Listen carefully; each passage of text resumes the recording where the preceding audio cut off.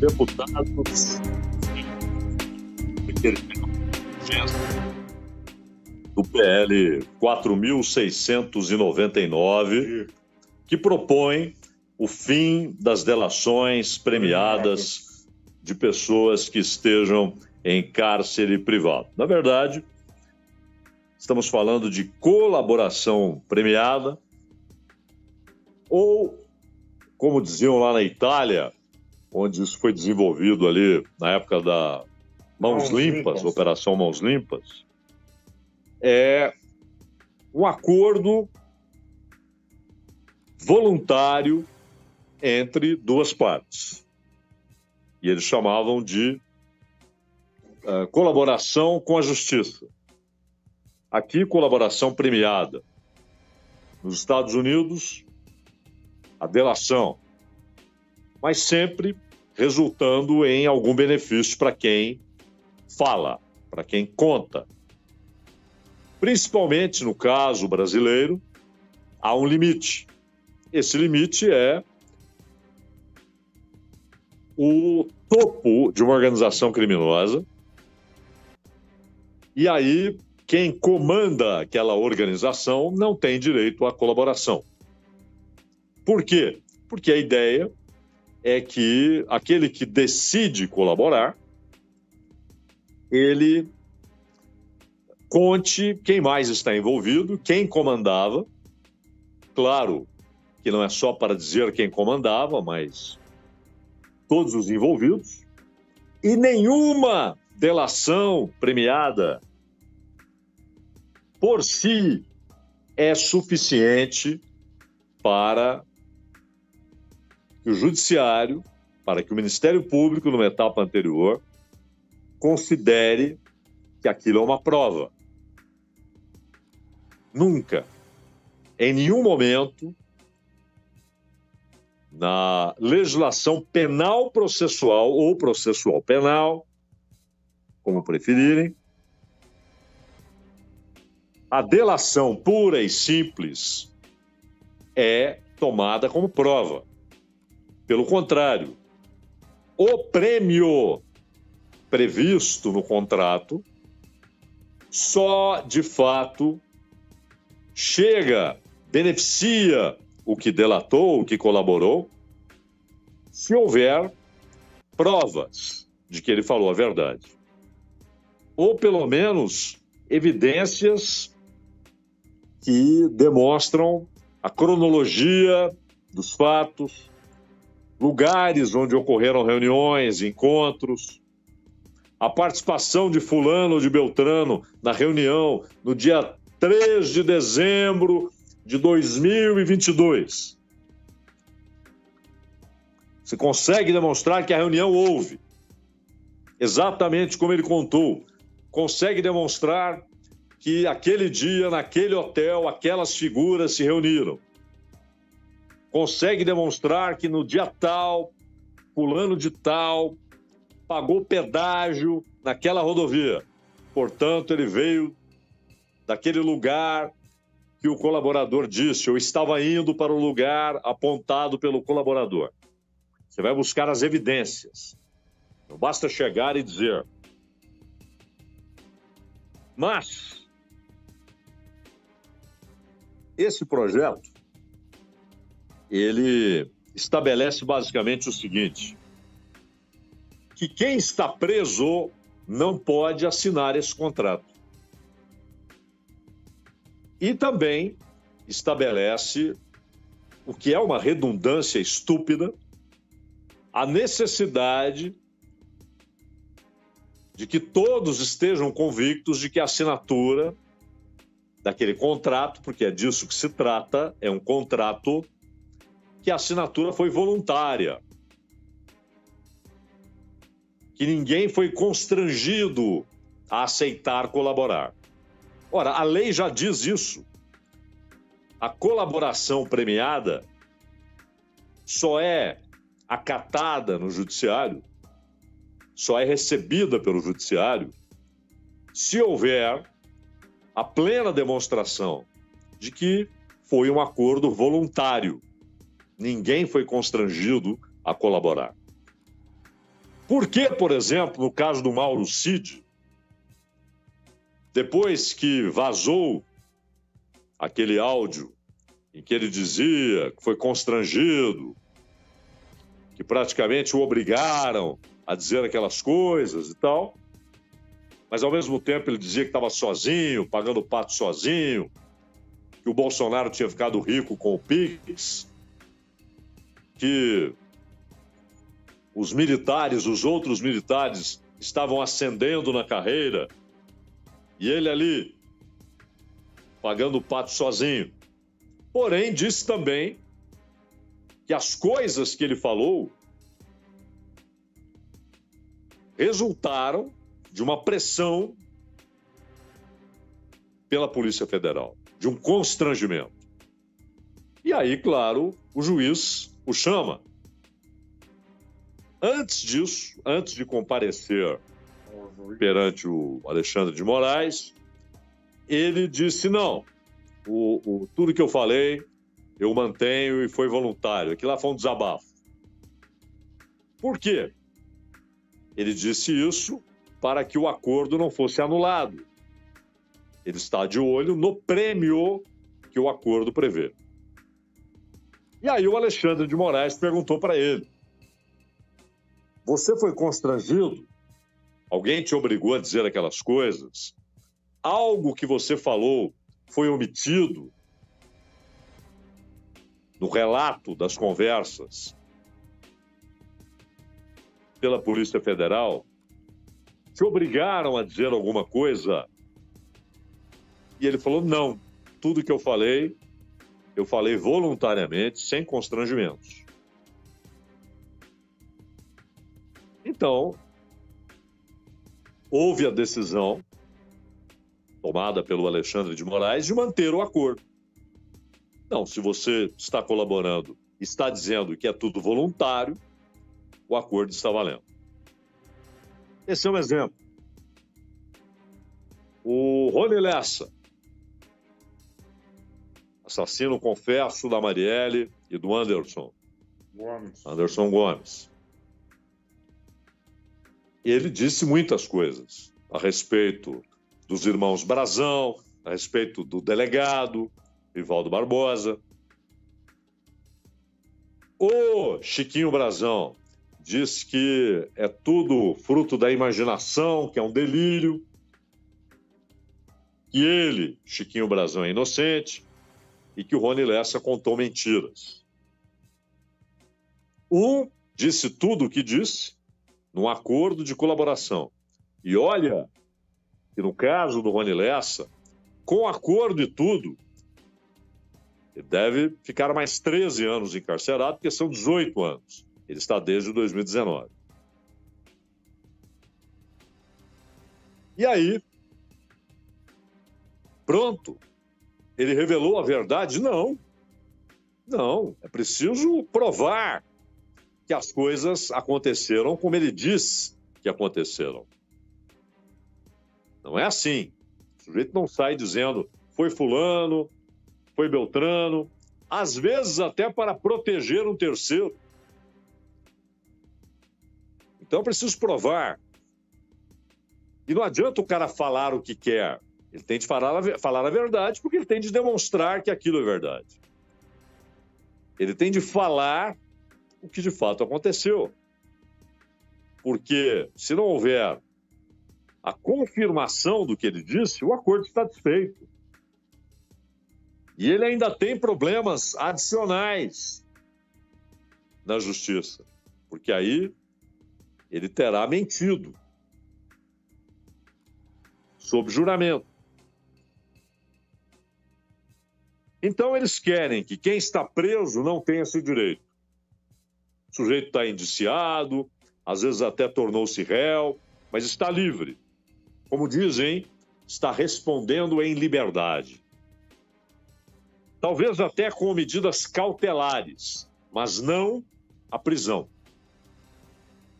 pode estar com medidas cautelares, mas não está preso. Se estiver preso, não pode. É isso que o projeto diz. E também estabelece punições ou preconiza punições.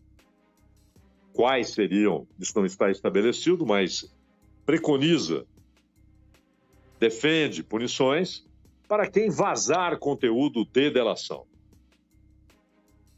E traz um troço esquisitíssimo. Porque em caso de vazamento,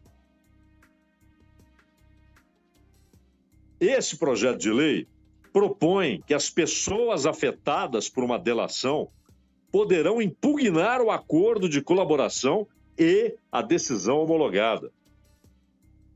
Isso é uma aberração jurídica. Não a única.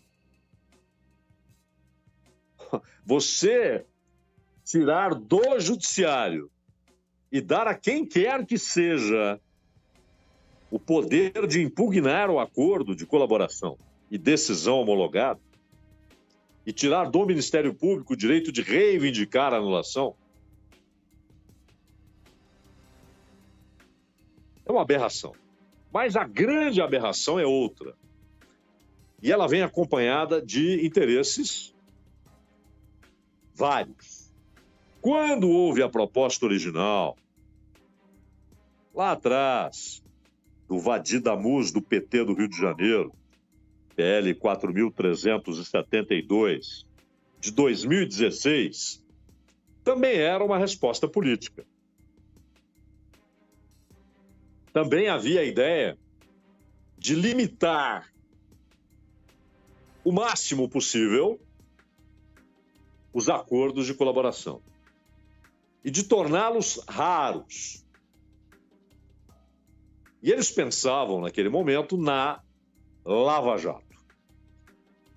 A colaboração premiada é um instituto estabelecido no governo Dilma, Dilma Rousseff. Rousseff. Governo Dilma Rousseff.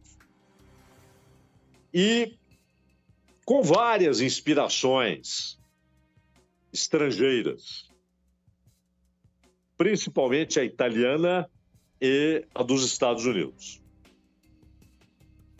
E ela tem sido de grande valor nos Estados Unidos, por exemplo, mas também na Itália, para combater o crime organizado. O Busqueta fez o quê? Um acordo. Um acordo de colaboração. Então, o poder público atacou a máfia, uma das máfias, com base na colaboração. Em Nova York, é muito comum, porque há uma atuação muito forte do crime organizado em Nova York, em Los Angeles também, onde tem dinheiro, né? claro. E também ali na região uh, nordeste, onde há concentração de cassinos, alguns inclusive, você tem indígenas que são usados como laranjas, né? é porque há uma exigência de que só povos indígenas naquela região possam ter cassinos, mas o proprietário de fato é outro, e muitas vezes o crime organizado. Então ali você tem promotores especializados nesse tipo de acordo. É uma ferramenta. Agora, houve casuísmo lá no caso do Vadir Damus, é uma resposta política. Era uma tentativa de conter aquela avalanche de delações. E agora houve quem gostou da ideia, pensando que poderia, com isso, anular a colaboração assinada, acordada entre o Estado brasileiro e Mauro Cid. A ideia era, pô, aprovamos isso aqui, e aí veio o raciocínio completamente incompatível com a ordem jurídica. E aí teremos efeito retroativo, porque mudança na lei penal beneficia o réu. Acontece que isso não é mudança na lei penal. A única parte do acordo que tem a ver com a lei penal especificamente é a premiação.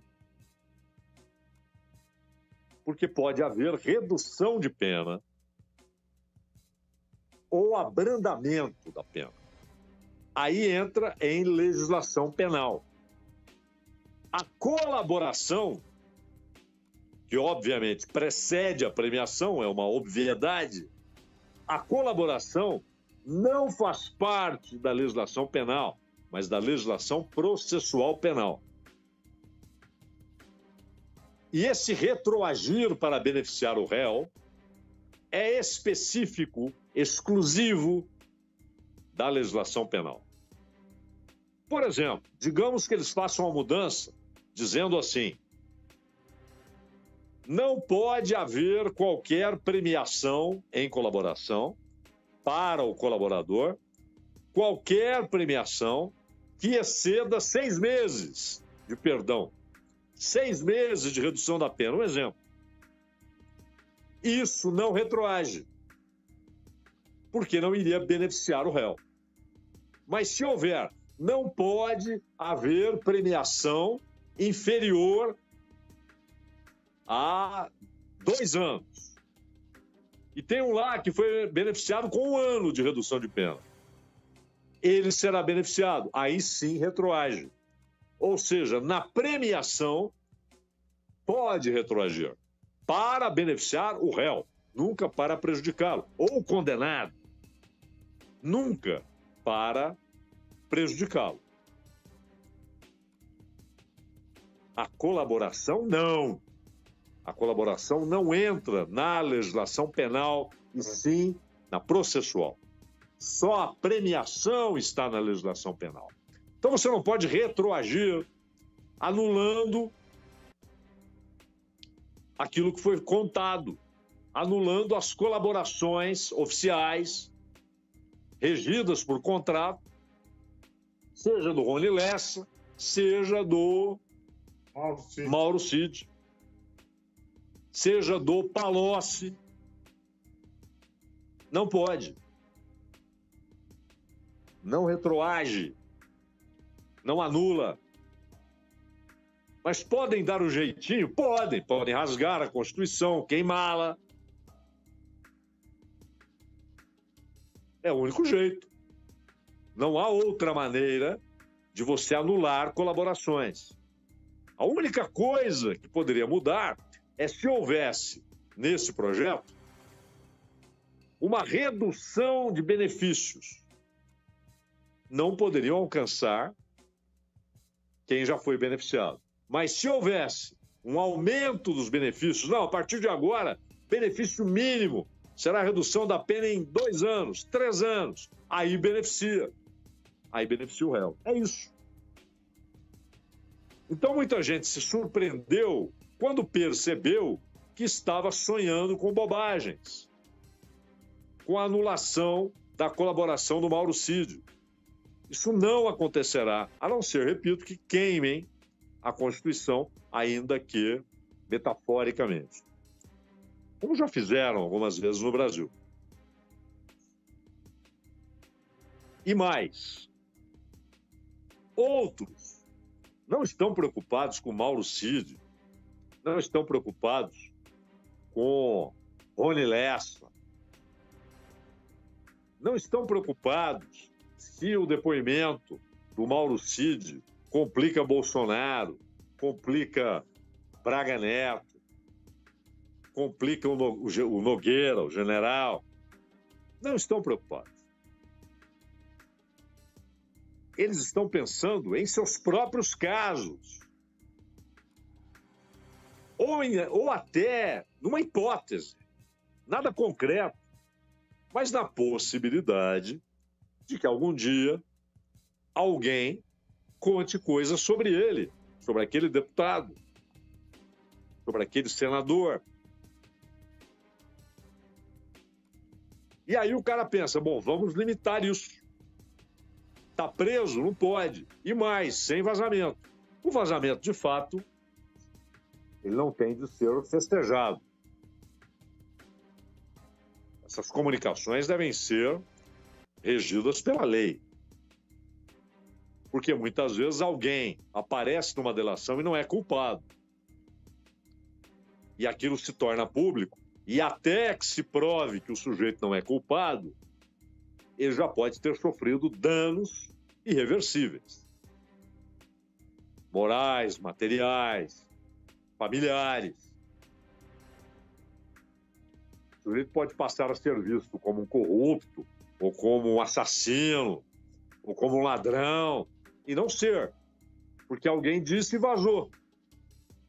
Antes da confirmação, da prova, do julgamento, da manifestação da defesa, da manifestação do Ministério Público, já há um carimbo.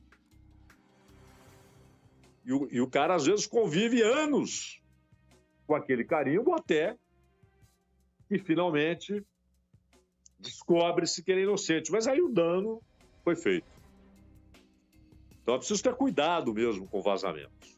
Uma coisa é publicidade do que está sendo feito, está sendo investigado, e até com base legal, até em partes do depoimento, que se tornaram caminhos importantes que a polícia passa a percorrer e que podem levar à elucidação de um crime ou de vários crimes. Agora, impedir que alguém que foi preso possa voluntariamente assinar esse acordo com o Estado, primeiro fere a isonomia, é inconstitucional. Imaginem o seguinte: dois sujeitos denunciados, investigados. Aí, para um deles, há uma decisão judicial de que ele deve ser preso preventivamente. Porque, no caso específico dele, ou há risco de fuga, ou há risco de que ele ameace testemunhas, constranja testemunhas, ou há risco de que ele destrua provas. Se estiver solto, ele terá muitos meios para destruir provas e inviabilizar uma investigação. Prisão preventiva. O outro cometeu, às vezes, um crime até mais grave, mas esses elementos que dão base a uma decisão a respeito de prisão preventiva, risco de fuga, possibilidade de destruir provas, possibilidade de constranger ou ameaçar testemunhas, ou a continuidade do crime, é algo que tem sido muito utilizado. Se ele ficar solto, ele continuará cometendo o crime. Isso acontece muito em caso de crimes nas redes sociais. A permanência do crime. Então, prisão preventiva. E às vezes o outro cometeu um crime mais grave, mas esses elementos não estão apresentados. Às vezes as provas já estão todas nas mãos da polícia, não há mais o que esconder. As testemunhas já falaram. Este que está solto, de acordo com o projeto, poderá fazer um acordo. Aquele que está em prisão preventiva não poderá. Isso fere o princípio constitucional da isonomia, da igualdade. Você não está removendo um direito, você está removendo um direito para algumas pessoas. E para outras, na mesma situação, só que não presas, aquele direito permanece. Isso é inconstitucional. Então não há retro, retroatividade, não há possibilidade de que alguém seja beneficiado por ação retroativa de uma mudança na lei. No caso da colaboração, porque a colaboração é legislação processual. No caso da premiação, sim, mas não é disso que se trata. Esse projeto não trata de premiação. Portanto, não há benefício retroagindo. Não há benefício algum. Penal.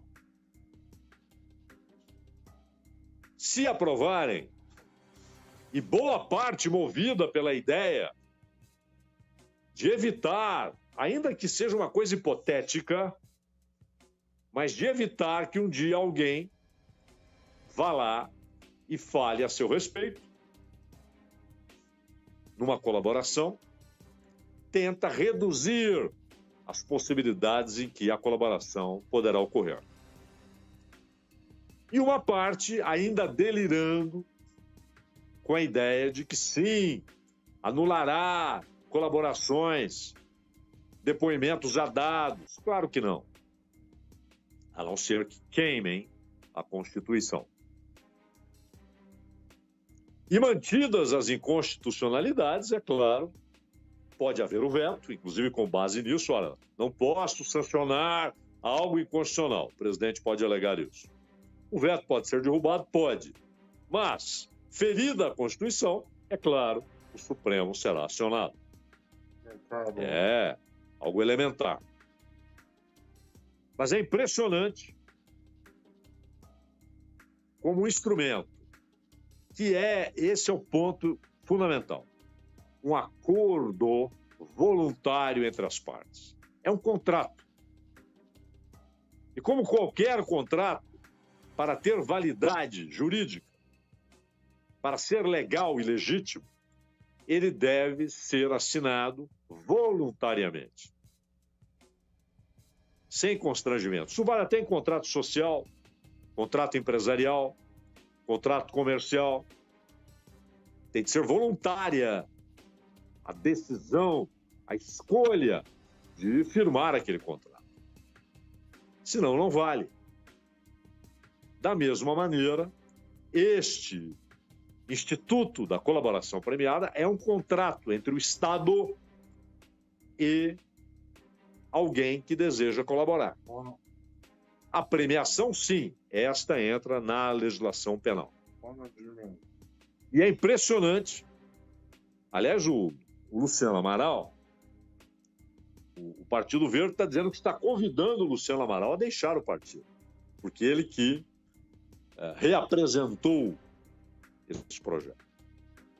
E eles disseram: não, não vamos expulsar, nós vamos convidar para sair. Para ele não é um problema, porque ele não perde o mandato, nesse caso específico, não há perda de mandato, e ele é muito próximo do Arthur Lira. Não faltará partido e não faltará, claro, o apoio do presidente da casa, ainda que a coisa não ande.